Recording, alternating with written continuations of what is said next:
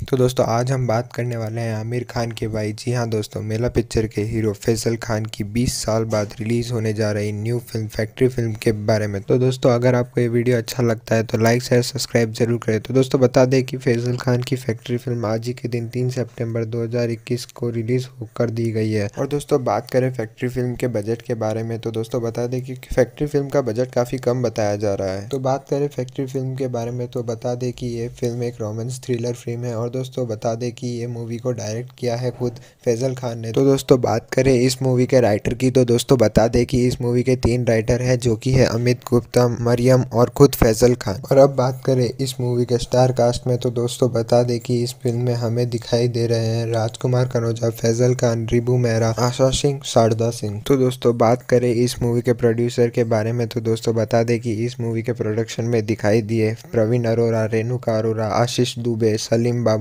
मरियम, सरफराज शरीफ शारदा सिंह। तो दोस्तों, कमेंट कर कर ज़रूर बताएँ कि आपको क्या लगता है, कैसी होगी फैजल खान की बॉलीवुड में 20 साल बाद एंट्री और दोस्तों, इस मूवी के रिलेटेड कोई भी न्यूज़ से अपडेटेड रहने के लिए सब्सक्राइब कीजिए हमारे चैनल फिल्मी मार्केट को और बेलाइकन प्रेस करना ना भूले। और इसी के साथ वीडियो को करते हैं समाप्त, धन्यवाद।